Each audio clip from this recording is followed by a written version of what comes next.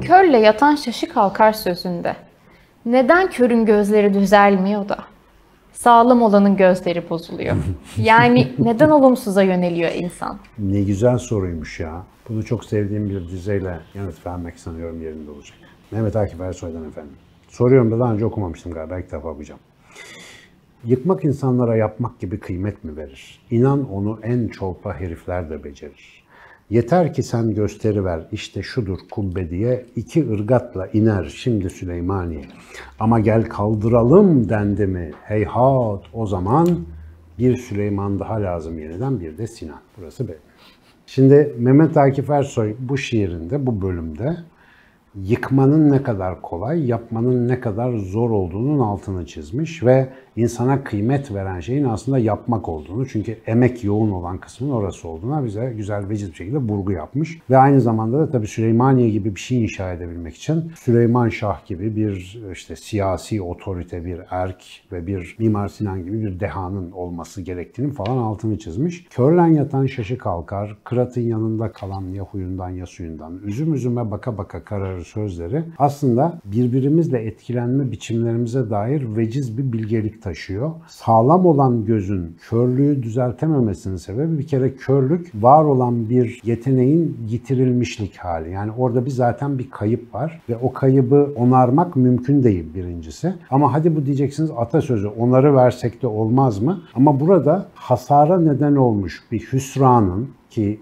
hüsran sözü hasardan geliyor. Yayılma ihtimali, yayılma eğilimi anlatılıyor aslında bize. Biz kamuoyunun içerisinde kaldığımızda diğer insanlarla beraberken o insanları paniğe sevk eden, öğrendikleri akıllıca davranışlar yerine panik içerisinde akılsızca davranışlar yapmalarını zorlayan durumlarda kaldığımızda mesela birçok insan onlar gibi hareket etme eğilimi gösterir. Niye? Biz bir sürü canlısıyız ve bu sürü canlısı olmanın şiarlarından bir tanesi de budur. Biz ortama uyarız yani. Ve bu genellikle yıkıcı durumlar söz konusu olduğunda, zorlayıcı durumlar söz konusu olduğunda akıllıca yerine dürtüsel hareketleri yapma tercihimize kayma meylimiz vardır. Ta ki çok dirayetli, hazırlıklı işte komando eğitimi almış falan bir tip düşün. İşte askerlerde öyle ya savaşta onlar mesela direkt böyle gözü ileride. Öyle birisi değilsen, yani normal bir insansan hakikaten körleşme şansın çok yüksek. Dolayısıyla bu tip sözler de genel kitleye hitaben söylendiği için marazi bir durumla uzun süre beraber takıldığınızda o marazın size de bulaşmasının tabii bir gereksinim olduğunu anlatan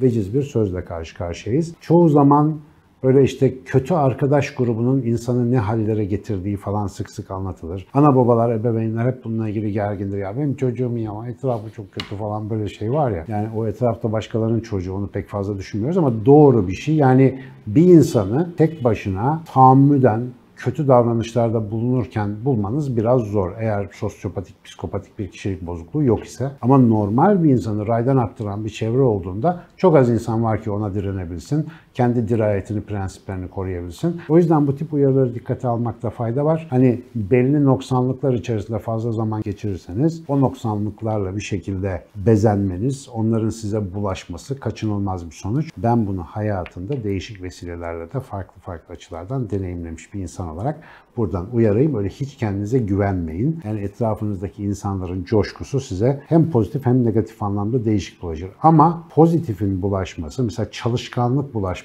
daha zordur. Daha zaman alır. Mesela dirayetli, prensipli, çalışkan, başarılı falan bir insanın yanında ona uymak isteyebilirsiniz. Ya da öyle bir grup içerisinde olmak size iyi gelebilir ama onu sürdürmek gerçekten bir enerji, bir motivasyon, bir metanet ister. Bu da her zaman bizde bulunamayabilen bir şey. Ama biz daha kolay yayarız. Dağıtıcı unsurlara, kötücül taraflara, tembelliğe, biraz cehalete bir meylimiz vardır ve o tarafa doğru kaymamamız için de böyle kadimden ufak ufak uyarılar gelir ama çok güzel yakalamış arkadaşımız. Tebrik ediyorum soru için. Cehalet dediniz.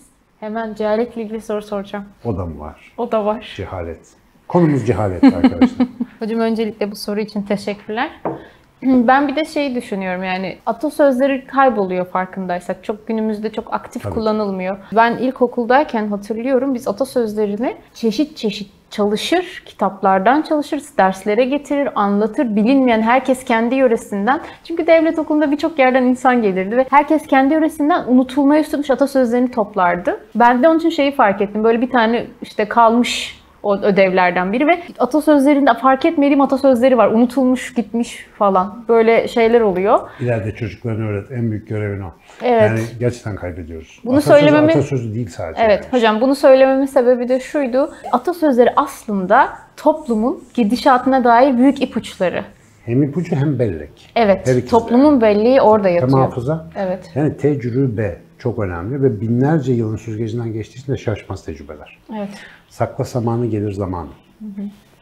Acayip bir şey yani. Ve bunların sadece bu yalın kat anlamları yok yani.